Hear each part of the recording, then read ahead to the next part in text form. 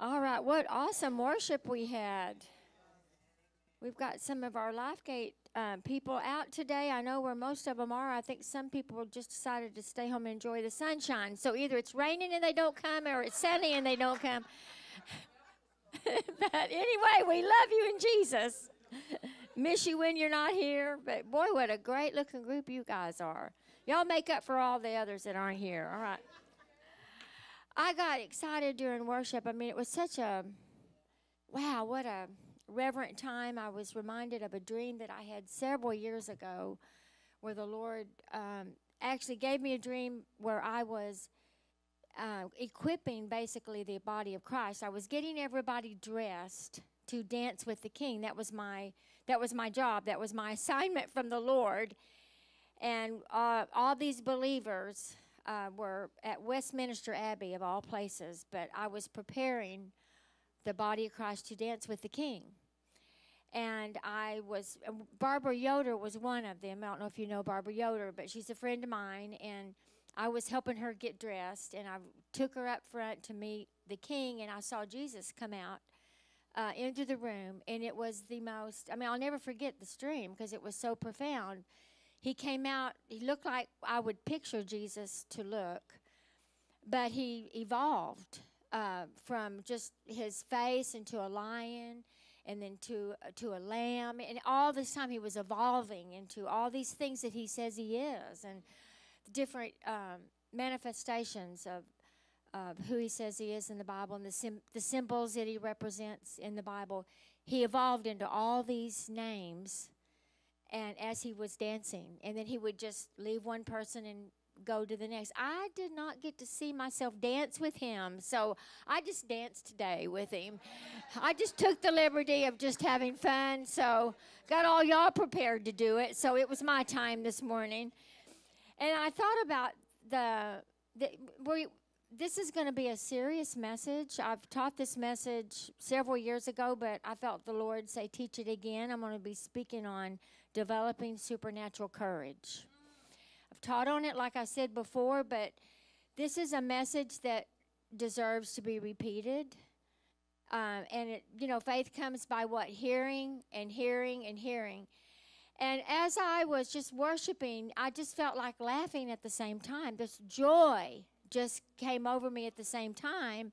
And every now and then we do need to laugh. And I had forgotten, it has been in my life personally, we've had so much going on with the building, and then I'm preparing to go to South Korea, trying to get my faith up there, uh, get my faith activa- activated. Uh, you know, just the plane trip alone takes faith. The fact that you're, okay, get this. I mean, you have to have faith to get in an airplane. You, you know, we do it. We get on an airplane and we do it but uh, we really, uh, I'm not used to. I was terrified to get on airplanes. Uh, my father was afraid of flying, so I grew up afraid of flying, but I got over it.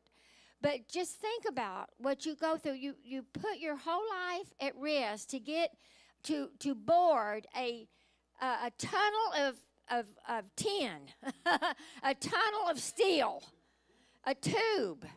Thank you, a tube, a tube of steel and, and, when you're in the air, it feels like plastic when you're landing. Literally, the, you're shaking and you wonder what this thing is really made out of. But the the um, the flight attendants, I mean, the flight attendants are preparing you for your final destination. they say we're about to land at your final destination, and then you end up at a place called a terminal. You will enter Terminal B like it's your terminal flight.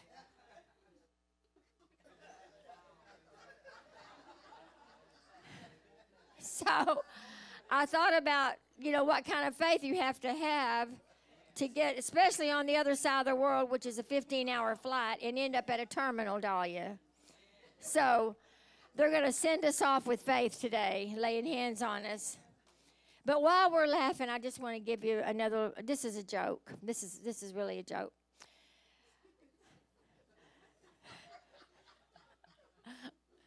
It was funny when somebody else told it. Let me see if I can do it. um, all right, this uh, this email. I got this email, and it said, "I woke up last night with someone was breaking into my house, and they were looking for money." And then it said, "And so what did you do?" And he said, "I got up and looked with them."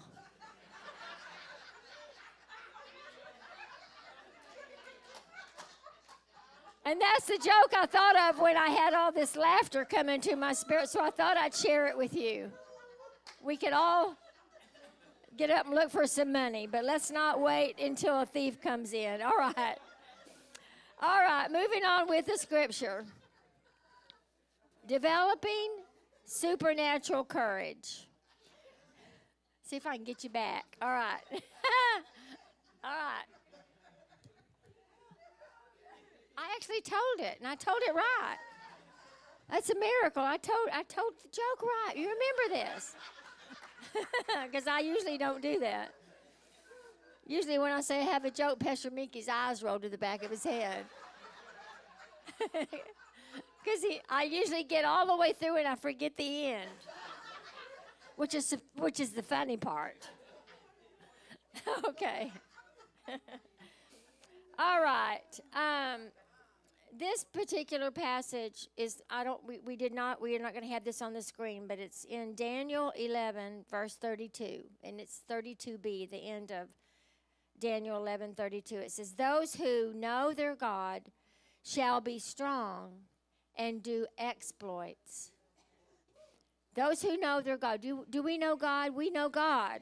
We know God. And so this means that we are called to not just be strong, but to do exploits. All right, so we're going to talk about someone in the Bible um, that did great exploits. Uh, two people. A few weeks ago, I do you remember the message on Shamgar? Those of you that were here, I taught a message on Shamgar. It's and the passage was in Judges um, three, verse thirty-one. Let's see if we can go there. All right in, this was the passage. And after him was Shamgar, the son of Anath, who slew of the Philistines 600 men with an ox goad, and he delivered also delivered Israel. So I taught a whole message on Shamgar, who slew by himself 600 Philistines with an ox goad. That's all he had was a stick with a sharp point on the end of it, and he was a farmer.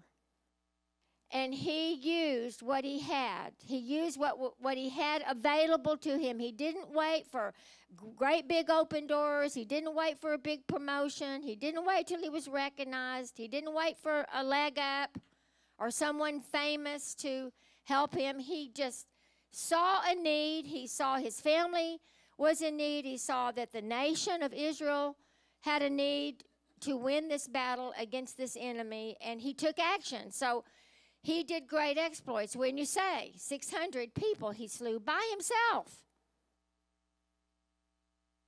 and all he had was an ox goad. Today we're going to talk about someone named Benaiah in the Bible, and his story is buried in the Old Testament of 2 Samuel chapter 23 and the 20 and 21st verses. And it really is the most inspirational story I think I've ever read or ever heard taught. And it's a passage that I doubt you ever heard in a Sunday school message before. Um, it's not a very well known memory verse, and it wasn't taught at all in any of my theological classes. It has absolutely no bearing whatsoever on biblical doctrine. So there's not a doctrine built around it. In fact, if you read your Bible every year all the way through, it probably didn't show up on your radar as you read through it. But today, I think you're going to remember this story forever and probably you'll highlight it in your Bible. So let's look at it. Let's look at this passage. It says, starting in verse 20, Benaiah, the son of uh, was a valiant fighter from Kabzeel who performed great exploits. He struck down two of Moab's best men. He also went down into a pit on a snowy day and killed a lion. And he struck down a huge Egyptian. Although the Egyptian had a spear in his hand, Benaiah went against him with a club. He snatched the spear from the Egyptian's hand and killed him with his own spear. Such were the exploits of Benaiah, son of Jehoiada. He too was as famous as the three mighty men. He was held in great honor than any of the thirty, but he was not included among the three. And David put him in charge of his bodyguard.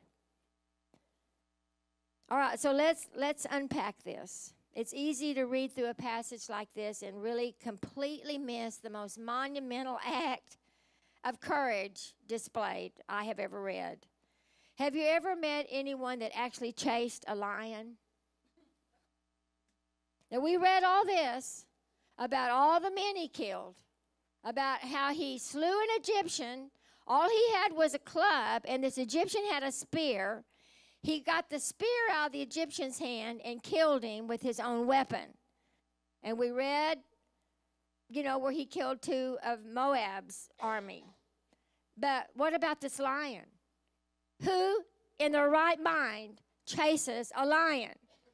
We could have gone several years ago to Barnum and Bailey Circus. Now, now that's not available to us anymore, unfortunately. But they have lion tamers but you don't see a lion chaser.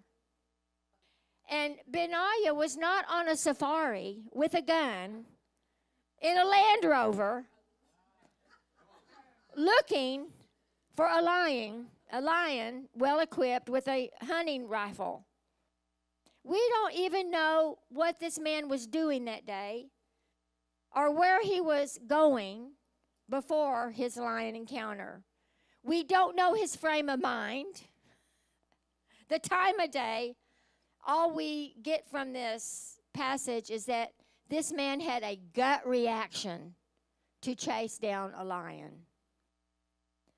It would make more logical sense to run away from a lion rather than try to chase it down. Normal people don't chase lions. Normal people usually run from lions.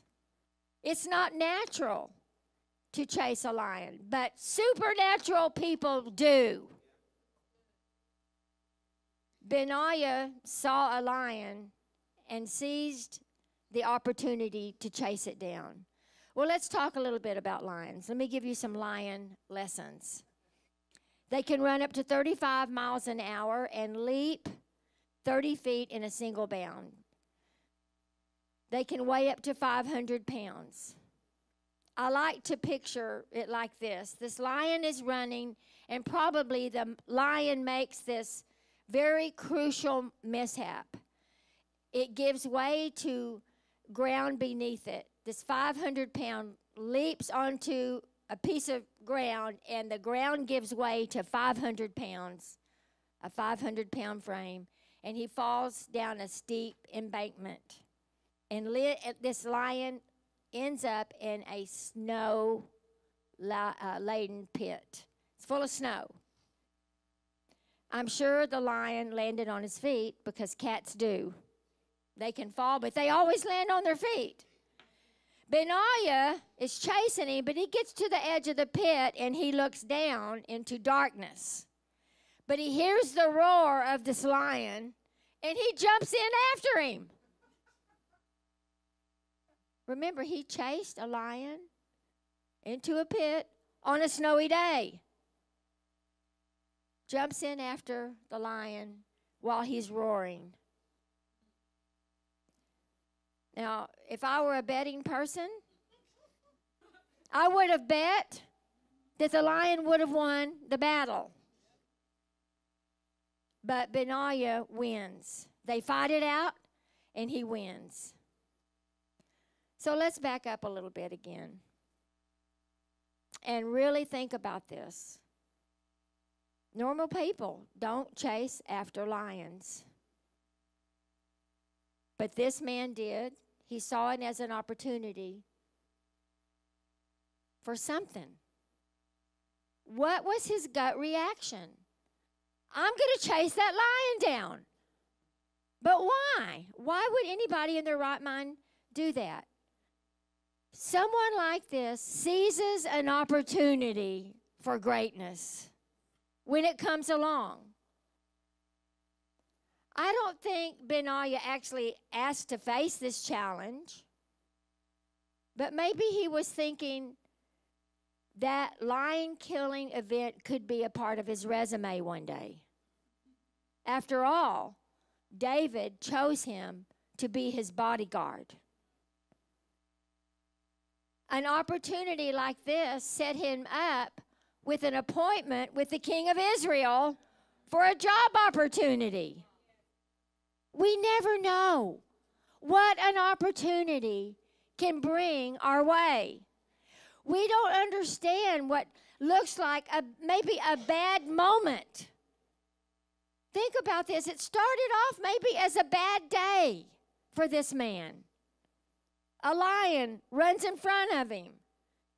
It could have been a bad a super bad day. I would have thought something like that could qualify as a really bad day if a lion comes across my path. And then I would be chasing it thinking, what am I doing? Why am I doing this? But can you see how God took a bad break and made it into a breakthrough? And how we have so many opportunities that come our way that look impossible. And we run the opposite direction rather than chase down the impossibility and seize a moment that God can use for His glory. Here's the point God is in the resume building business. Interesting, the name Benaiah means to build. As God, Jehovah builds. God was building this man. All he had done before was slay two Moabites and an Egyptian. And now he's promoted to greatness because he chased a lion. God wants to build your resume. God is always using a past experience to prepare us for a future opportunity. I think many of us could look over probably the last several months, the last few weeks, and examine what we've been through. And actually, I know for me, myself, I've wanted to run the opposite direction. Sometimes you get under so much stress, you don't you don't see the opportunity so that you can seize it for something better. Because we're focused on the problem rather than how big our God is in the midst of it. How we react when we encounter these opportunities will determine our destiny.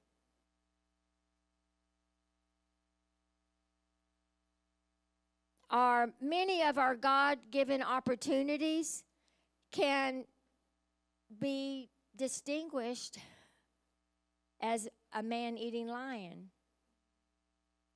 It's that challenging.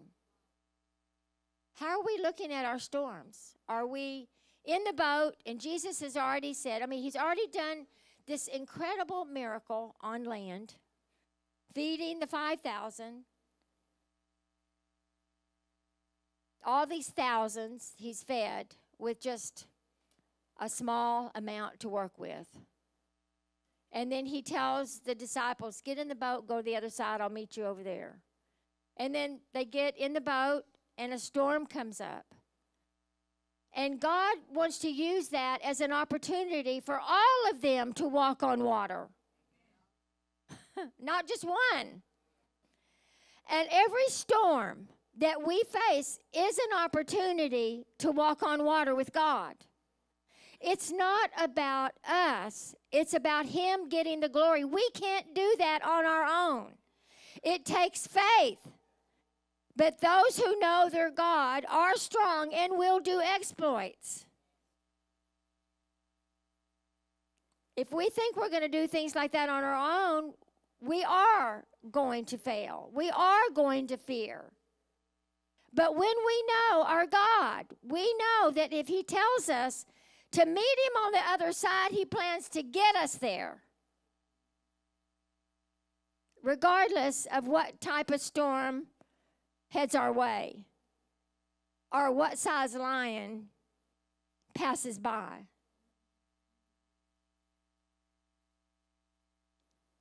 There's always been a part of me that likes playing it safe. I have to work on the other part a lot. I'm sure some of you can relate. No one likes a storm. Nobody really likes a challenge. It's not something we ask for. And yet it is uh, it is the problems in our life that bring the most growth. It's what keeps us humble, but it's also what forces us to dig in to know God in a greater capacity and to trust Him evermore. And we will not gain spiritual strength by not having issues that we have to press through. You don't build muscles in the natural unless you lift weights or get some type of exercise. And I don't know of that many people that really love to jog or work out. We do it because we say we like it, but we do we really love it? I mean, I go to the gym because I have to. When you start getting older, you need to lubricate a little more your muscles. Everything gets stiff the older you get, so you work out so that you can keep active, so you can live longer. But I don't like it.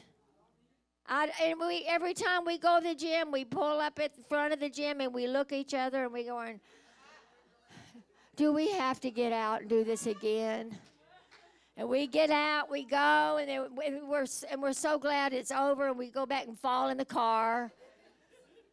And then Pastor Mickey drives us home, and we think, well, we made it. I'll wait till another 24 hours. We do this again.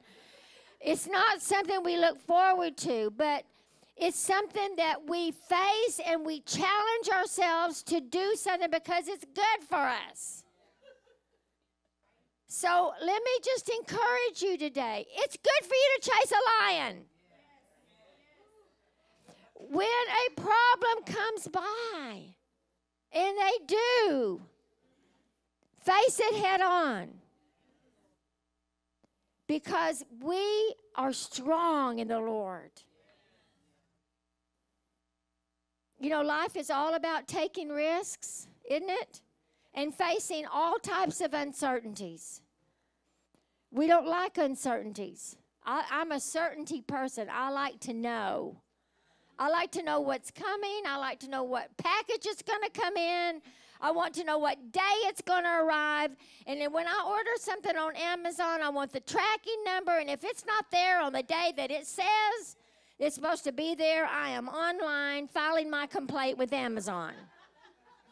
And when I do same day delivery, by golly, it ought to be there same day. And when it's not there, that's my lion. I'm on it. I'm chasing that package down. But they ought to not offer it if it, they can't do it. I mean, it's I don't care if it is free delivery.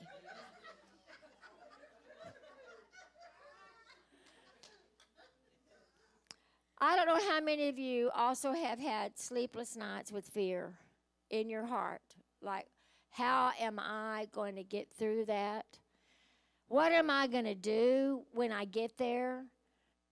Uh, like I have to go to South Korea and teach six messages, you know, right? And I have to come up with six new messages to teach, and I'm like all over the place, asking God to give me all these things I'm going to need, and I get get it in my head, like, oh my gosh, when I get there, and then I start going here, there in my head, and then I'm exhausted before I even get on the plane.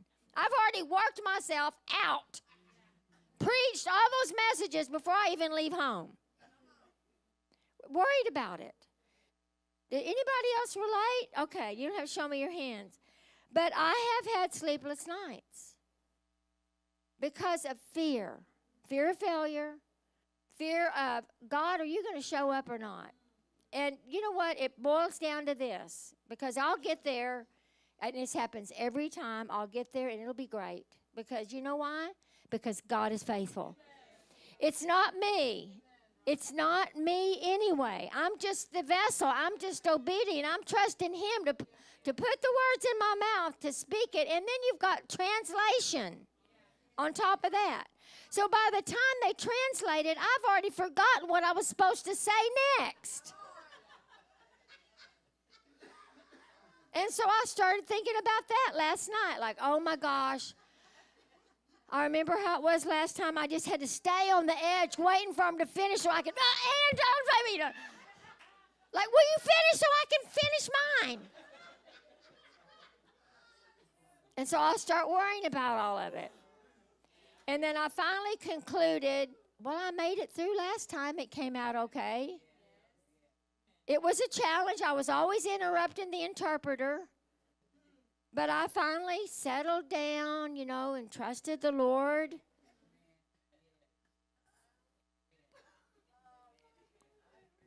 Dahlia, you just wait. You're going to be there this next time.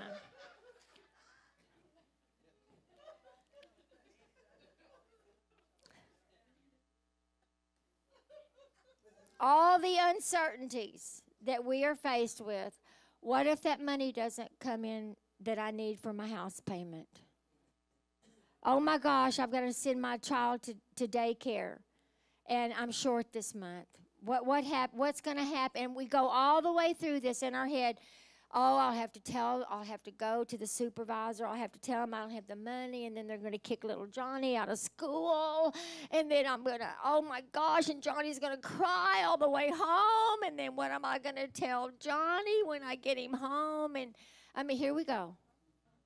And then we're on the phone calling Sister Lulu to please pray because and and, and it, you still got three weeks left in the month for the money to come in.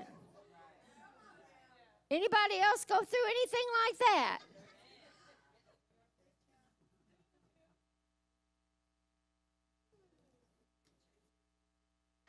But to be when when you get on the other side of it and I'm like still looking in the rearview mirror of this. But I'll have to admit the biggest risks that I have faced in life opened up the biggest opportunities. The, I mean, I can remember times when we uh, were in the home building business, and we would we would take we would had several houses going on at the same time, and we would go to the bank.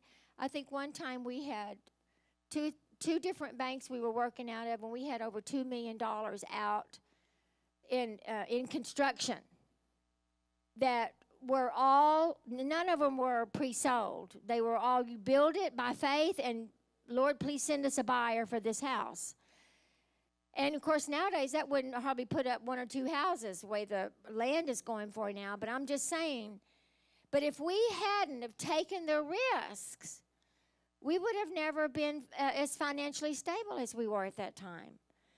But if you're going to if you are going to make money, you're going to have to invest some money. And that takes faith. And if you want a house, you're going to have to have the faith to believe God to make the payments on the house. That's just the way it works. It's the way it works with God. But I'm telling you, God is setting the stage for every single one of you to have greater success. Don't settle for where you are now. There are greater things for you to do. There are great exploits still for us to accomplish. There's a doctor named Neal uh, Rose who wrote a book called If Only. And in the book, he, he distinguished two different types of regret. There are regrets of action and regrets of inaction. And um, the regret of action is wishing you hadn't done something. You just wish you hadn't done it. Have you ever done something you go home and say, Man, I wish I hadn't said that? Or I wish I hadn't done that. I shouldn't have done that. But the regret of inaction is wishing you had done something. Because, see, when an opportunity comes by, there's, if you act upon an opportunity within 20 minutes, it has to be within 20 minutes, you'll have a greater level of success of accomplishing what you acted on. But if you wait 24 hours, there's like a 3% chance you'll do it. So when opportunity comes, you need to seize it. Don't what you, you can say, no, I need to pray about that, but pray fast. Sometimes we just need to get an unction real quick and know that that's it. Everything doesn't take a week to pray through. Even though I believe in that, don't get me wrong, you need a peace. But a lot of times I have to move quickly, and I'll know if I have a peace or not within a few minutes. Not always, but many times. But I've learned that when opportunities come, I need to move quickly if I really want to seize that. And it's always been an investment for us. But we've learned that if we're going to make an investment we don't act on it quickly, chances are in 24 hours we'll talk ourselves out of it and we will have missed a great opportunity that God planned to bless us with. So just be praying about that because I believe God's going to offer you some opportunities. So I believe the church has been fixated on the sin of commission far too long which which is the sin of doing something we wished we hadn't done. We we get caught up on that much more so than the sin of not doing something what we should because of fear and the lack of faith. So let's be honest with ourselves today. Do we run from the problem? Have we been running from a problem? Or are we going to be determined to face it head on and defeat it? The way you defeat it is always going to be using your faith. And that's what empowers you to do great exploits. So we've we've become far too passive. Lion chasers are very proactive.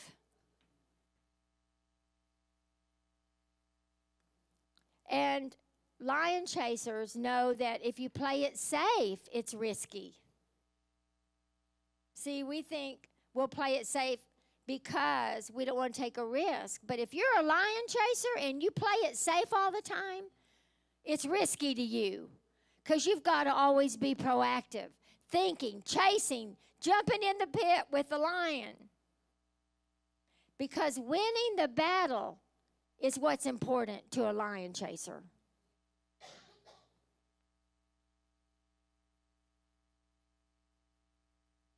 It's always courage. Bottom line, supernatural courage that stirs up that gift of faith. Winning the battle is important, but it takes courage to chase your dream. Boy, it's quiet in this little Presbyterian church this morning. I wrote this down. Lion chasers don't allow their fears or doubts to keep them from doing what God has called them to do. Success is making the most of every opportunity. Spiritual maturity is seeing and seizing your God ordained opportunity. And think of it like this every opportunity is God's gift for you. Think of every opportunity as God's gift to you. And what you do with those opportunities is your gift to God. What you do with your opportunity is your gift back to God.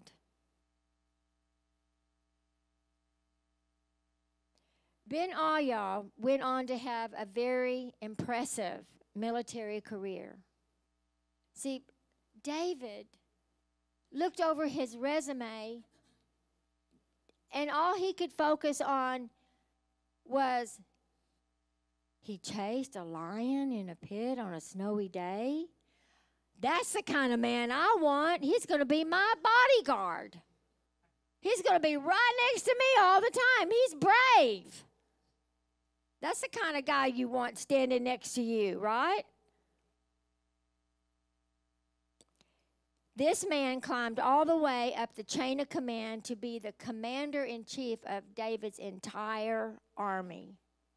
He may not have been one of the three or the 30, he was the main guy. But it all started off with what could have been labeled as a really bad day. I mean, snow would just stop most of most of us. Just snow shuts us down. A snurf, uh, if we get a snow flurry, they close down the schools.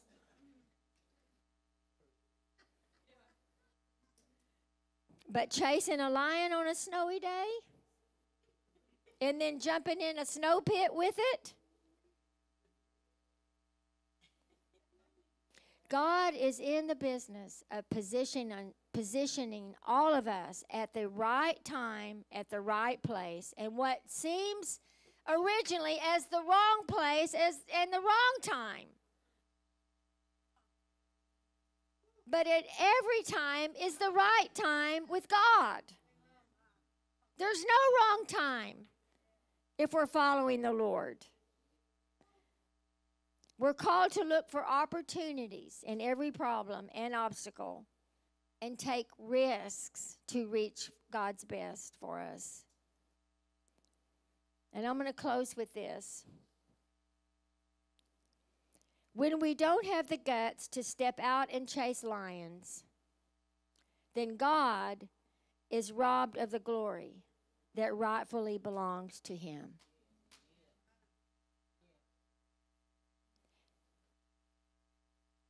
See, that's really bottom line what this is all about is that He wants the glory, and this is how He gets it by using us, knowing that we can't do it without Him. And He loves that. He loves the fact that we can't do it without Him. But He wants us to do it anyway. Because He expects us to know we can't do it without Him and believing that He's going to empower us to do it. So that he ultimately gets all the glory. Wow. It's amazing. I'm sitting here looking at a whole room full of lion chasers. Every single one of you. It doesn't matter what you've been going through, doesn't matter what challenge is in front of you. I mean, you may not be called to a pulpit ministry. But you've got a ministry right where you are. Day in, day out. Some of you may not be called to go to the nations. But for me, when I go to the nations, I fight all kinds of demons before I even get there. So, in one way, be glad you're not called to the nations. But on the other hand, God's going to get the glory when I get there because I know I can only do this through Him.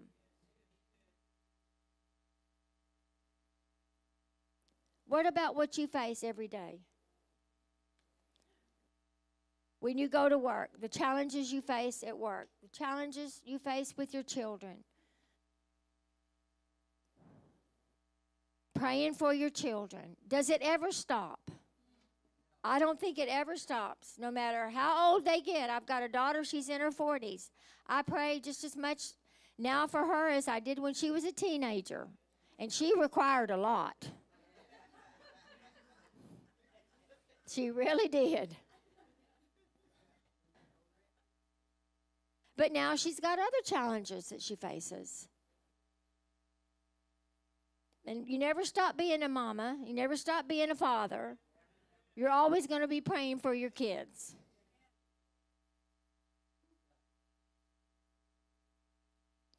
And if you have a job or if you have a business, it's going to require faith.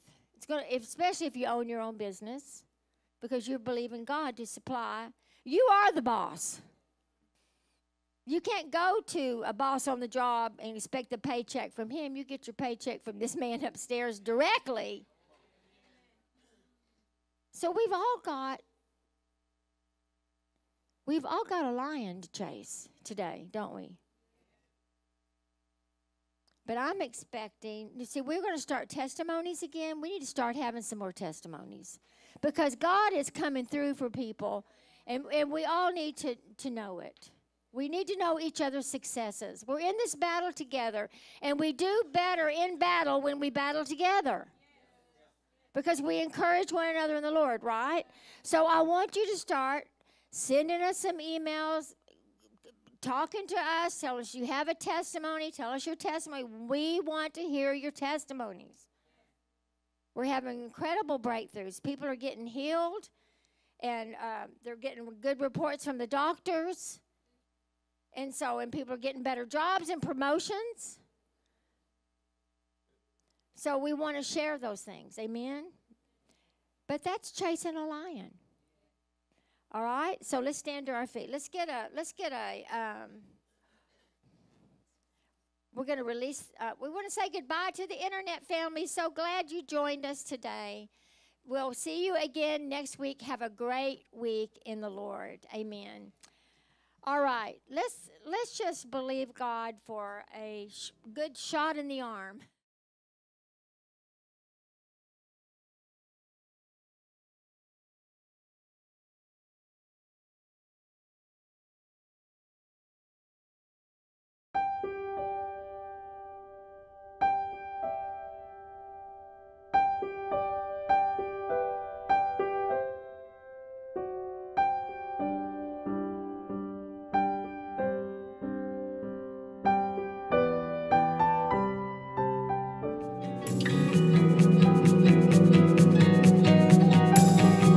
First Friday nights, I like to call them First Friday Night Encounters. Um, it's nights where we come and just do worship and also do ministry, and we just come and encounter God uh, in all kinds of ways.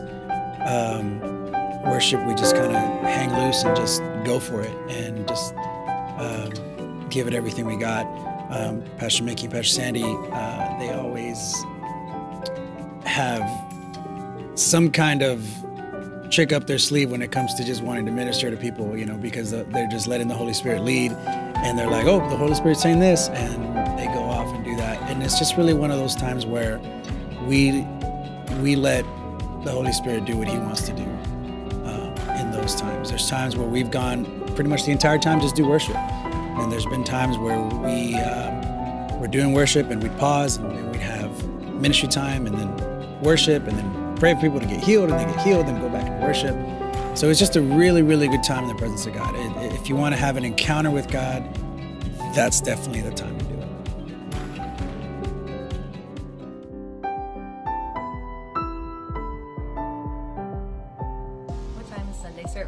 What time is First Friday service? What is the purpose of our offering decree? Who is Mickey Freed? Who is Dr. Sandie Freed? How do I get involved? What do we teach our children? What denomination is Lifegate Church? What events do you have coming up? What is the fivefold ministry? What does it mean to be filled with the Holy Spirit? What do you teach the teenagers? How do I volunteer? Sometimes people have questions, but they may not be able to speak them. They may not feel like they are confident enough to ask those questions. And so this video, its purpose is to empower you to, to ask us ask us what our offering decree means. What, ask us why we do the things that we do. Ask who is Pastor Mickey Freed and, and Dr. Uh, Sandie Freed. Ask those questions so that we can give you the answers that you need so we can provide clarity. Because Lifegate Church is not a church of confusion as our God, Jesus Christ, is not a God of confusion. And so that is the purpose of these videos. If y'all have any questions or concerns, please use the hashtag AskLifeGateChurch for more information. Hey everyone, just a quick update on the building. The electrician has already been through, the drywall is going up in the sanctuary, and we're so excited to see this finally happening for us here at Lifegate Church. If you feel led to give to this ministry, the link is down below, and thank you so much for believing in Lifegate Church.